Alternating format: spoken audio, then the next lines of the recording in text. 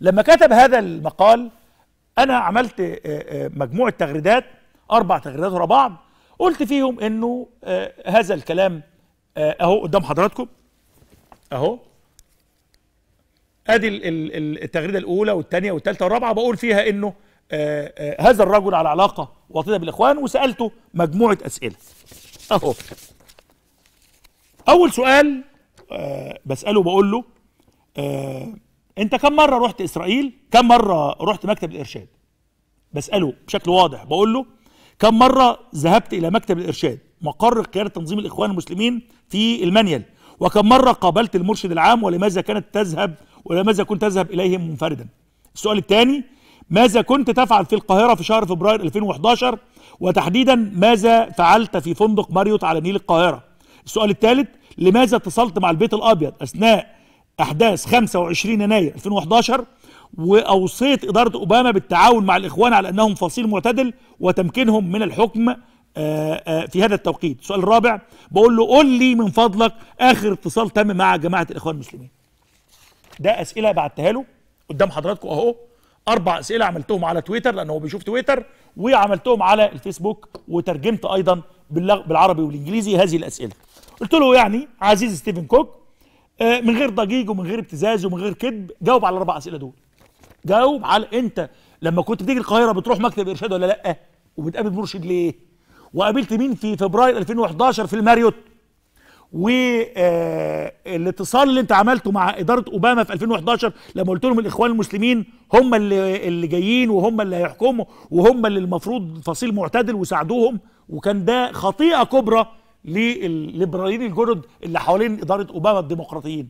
وأخيرا بسأله بقول له قول لي لو أنت جريء وصادق آخر لقاء تم بينك وبين آه، حد من الاخوان طبعا آه، رد الراجل للأسف الشديد بشكل لأنه عصبي جدا.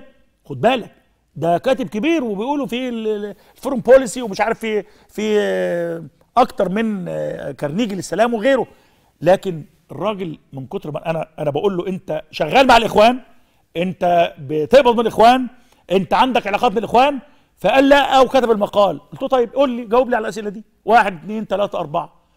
ظهر في الصورة بشكل غبي جدا أسامة جويش.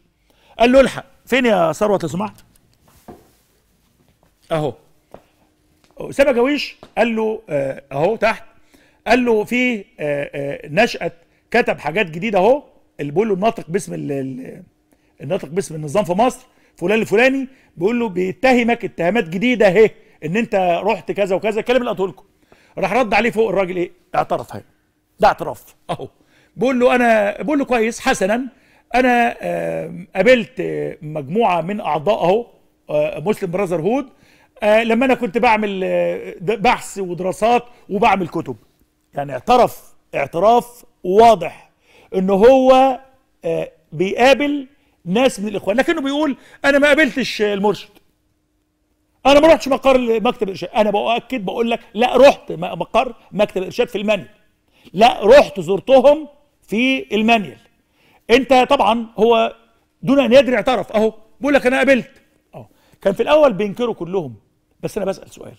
هو إيه علاقة أسامة جويش بستيفن كوك؟ هو ليه أسامة جويش بيدور وبيدافع عنه؟ يعني هو شغال عنده مرسال. شغال عنده إيه؟ بيقول له الحق. هو بيقول له آه أسامة جويش mention مين؟ ستيفن كوك. بيقول له الحق آه، آه، آه، فلان الفلاني بيقول عليك كذا. حاجة من اتنين. يعني أسامة جويش ده شغال يعني ما هو ده بيعكس العلاقة اللي بينهم الاثنين كواحد بيتلقى مصلحة وواحد بيعمل مصلحة.